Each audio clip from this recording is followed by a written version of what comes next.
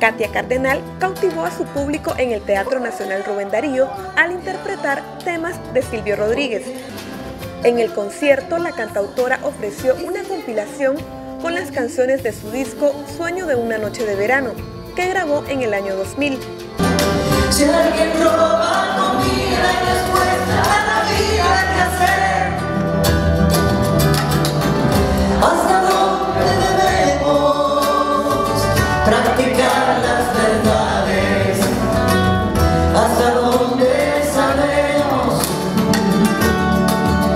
Que escriban nuestra historia, su historia de los hombres de playa